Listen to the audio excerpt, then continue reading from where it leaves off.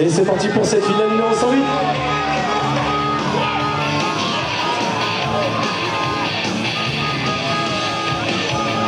Baral Guillaume est parti comme une véritable bombe pour l'instant.